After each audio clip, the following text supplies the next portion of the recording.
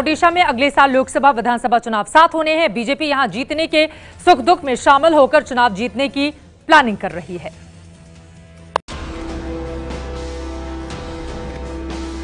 केंद्रीय पेट्रोलियम मंत्री धर्मेंद्र प्रधान बारगढ़ के उस घर में पहुँचे, जहाँ किसान ने जहर खाकर खुदकुशी कर ली। धर्मेंद्र प्रधान ने पीड़ित परिवार को सांत्वना दी और खुदकुशी के लिए राज्य की नवीन पटनायक सरकार को दोषी ठहराया। एक संवेदनहीन सरकार, भ्रष्ट सरकार, अमानवीय सरकार उड़ीसा में है। इनकी प्रति लोगों की काफ़ी आक्रोश हो रहा है। अगर यहाँ अंग नदी इस ब्लॉक में भी गया है, पानी की कोई अभाव नहीं है। प्रबंधन की अभाव है, पहुँचाने की अभाव है। अगर आज वो पानी इस गाँव के खेतों में आती तो शायद क्षमा सागर की ज़िंदगी, अमूल्य ज़िंदगी नहीं जाती।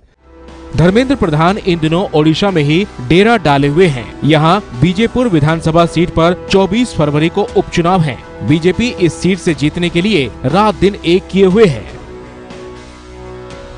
अधिक अधिक ओडिशा देश का वो राज्य है जहाँ बीजेपी कभी सत्ता में नहीं आई। अगले साल लोकसभा के साथ यहाँ विधानसभा चुनाव होने हैं। बीजेपी यहाँ अपना भविष्य देख रही है, इसलिए धर्मेंद्र प्रधान के नेतृत्व में पार्टी ज़बरदस्त तरीके से अभियान में जुटी है। ये है एबीपी न्यूज़ आपको रखे आगे।